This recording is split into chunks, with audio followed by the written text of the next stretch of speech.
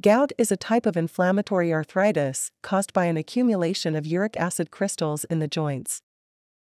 It develops due to an increased level of uric acid in the blood, a condition known as hyperuricemia. Uric acid is a waste product formed when the body breaks down substances called purines. Purines are normally produced in the body and are also found in some foods and drinks. Uric acid is then excreted through urine. Uric acid concentration can increase due to overproduction, for example in tumor lysis syndrome or high dietary purine intake. It can also be increased due to underexcretion, for instance in chronic renal insufficiency. The excess uric acid can form needle-like crystals in and around joints, particularly those in the lower extremities such as the big toe. Other joints may be affected as well. The body's immune system recognizes these crystals as foreign invaders and white blood cells are attracted to the site.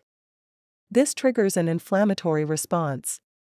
As a result, the affected joint becomes tender, swollen, and red. Often it brings about intense pain. Lowering excess uric acid is the target of long term management of gout.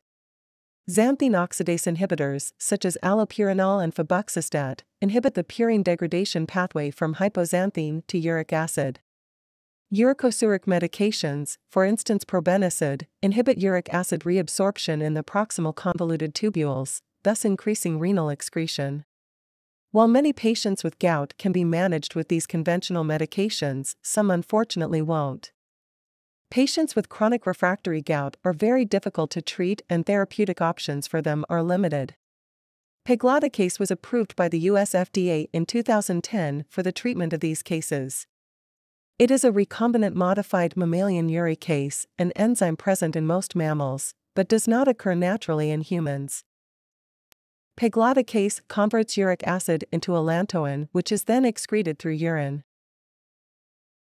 Unlike uric acid, allantoin is 5 to 10 times more water soluble and rapidly excreted by the kidneys.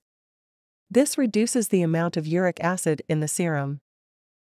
The reduction in serum uric acid induces a concentration gradient that promotes the migration of urate out of joints and tissues, making it readily available for allantoin conversion. Within months of treatment, pegloticase depletes total body urate stores, reduces flares, and resolves tophi in most patients. This can significantly improve the quality of life. Pegloticase is administered intravenously by a healthcare professional. It is typically given every two weeks, and the infusion process usually takes about two hours. As with any medication, pegloticase has potential side effects. The most common are gout flares and allergic reactions, including infusion reactions. Monitoring for these is important during and after administration.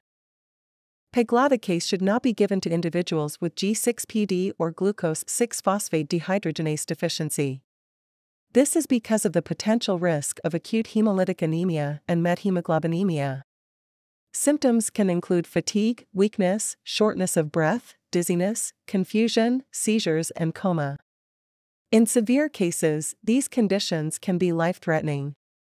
Therefore, it is important to screen individuals for G6PD deficiency before starting pegloticase therapy. This can be done with a simple blood test. And that's it for today's pharmacology video. If you enjoyed this video, please give it a thumbs up and subscribe to the channel for more pharmacology content.